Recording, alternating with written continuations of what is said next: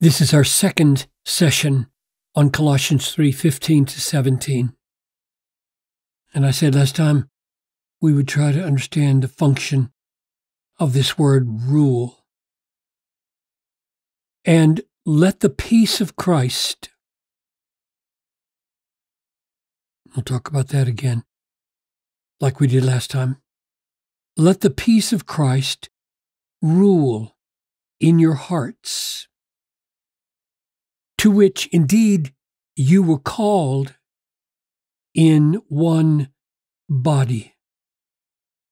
So, Father, as we focus now on how peace rules, I pray that we would so understand it and so embrace it that indeed in our hearts and in our relationships, the effect would be that Christ's peace really would govern in a way that peace is established. Christ's peace. And I ask this in His name. Amen.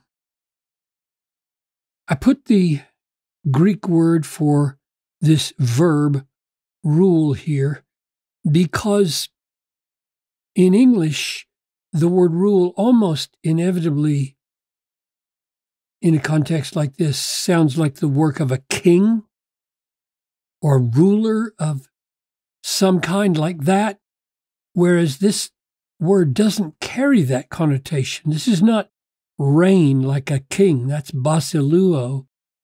This brabeueto here is rule like an umpire, like a referee,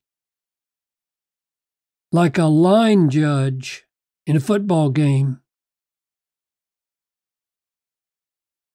A person who uh, decides who gets the prize in the race or in the game, who kept the rules, who stepped out of bounds, who cheated, what is making for a successful prize attainment. And I put this here so that we could track it down in the three other forms it occurs in so the noun form occurs here, the noun right there. Do you not know that in a race all the runners run, but only one receives the prize? So the verb is who decides who gets the prize. The noun is the prize. Here it is again in Philippians 3:14. I press on toward the goal for the prize, same word, the prize of the upward call of God in Christ Jesus. So when when something function as an as an umpire or a rule a judge, in this case, it's who gets the prize, who who has kept the rules and wins the game. Here's a negative form of the verb in Colossians 2:18. Let no one disqualify you. So here's the verb, brabeueto, and here's the negative, rule against, rule against. Let no one rule against you. Let no one uh, count you out of the race, insisting on asceticism, worship of angels, going on in detail about visions puffed up without reason by their sensuous mind, claiming that these are the real rules you have to go by, and thus disqualifying you when in fact you are keeping biblical Christianity. So, the very word itself, brabeueto, isn't a ruling of a king with a scepter or the ruling of a law court.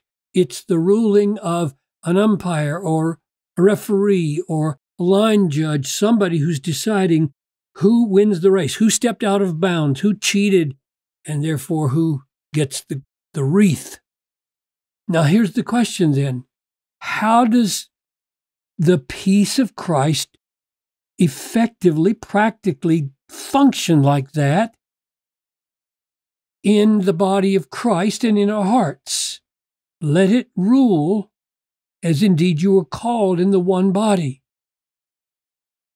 And what I would stress is it doesn't just stop conflict, but it um, introduces into all disputes and all conversations and all um, tensions in our lives, it introduces this, this reality, this force, peace of Christ. Now, to remind ourselves what that implies, let's go back and see the peace of Christ as Paul unpacks it in its fullest place. Now, in Christ Jesus, you were once far off, but have been brought near by the blood of Christ. This is what it cost for us alienated people to be brought together the blood of Christ. So when you hear the phrase peace of Christ, you should hear blood bought peace.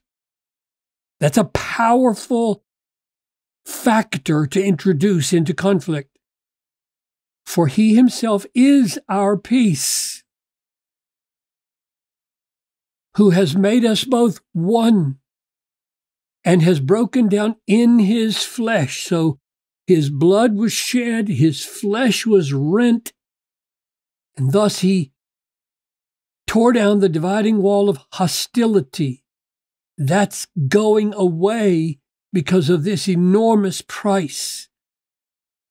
By abolishing the law of commandments expressed in ordinances, that he might create in himself one new man in place of two, so making peace that he might reconcile us both to God in one body through the cross. So you got blood, flesh, cross.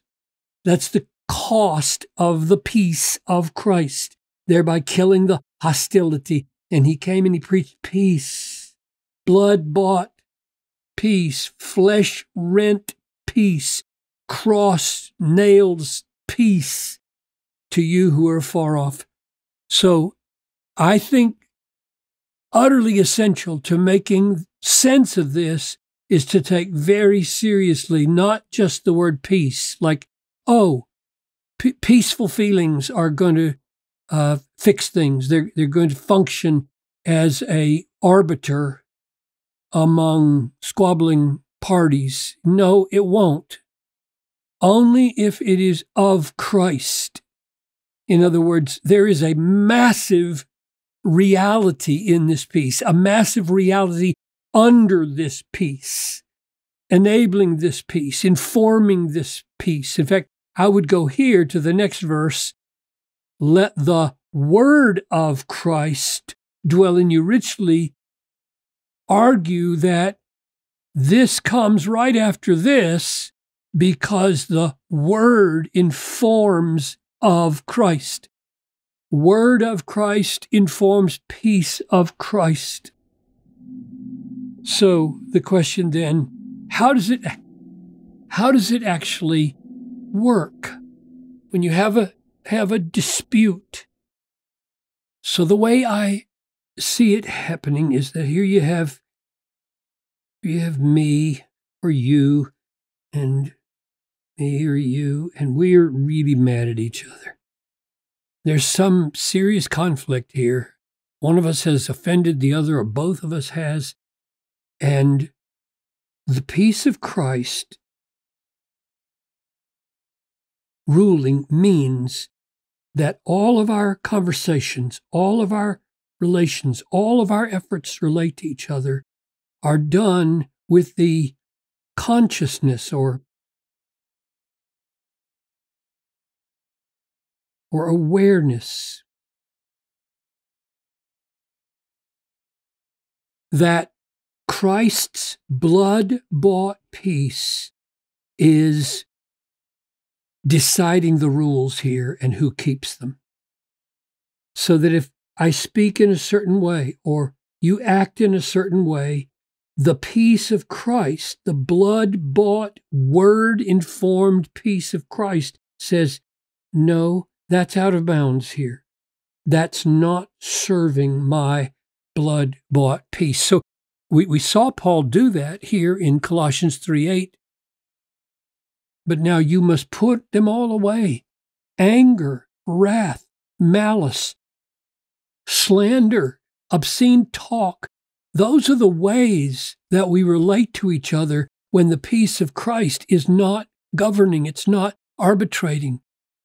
But if you put the peace of Christ in the room and remind yourself of what it cost, it cost him his flesh, it cost him his blood to bind Christians together, and you put that front and center in our hearts and in our minds. Remember, in our hearts, not just in our relations, in our hearts. You put that together, that uh, line keeper is going to say out of bounds, out of bounds, out of bounds, out of bounds, out of bounds. It's going to make judgments like that and thus function for us in making not only internal but intra uh, member that is within the body of Christ peace, the kind of peace that glorifies what Christ actually achieved.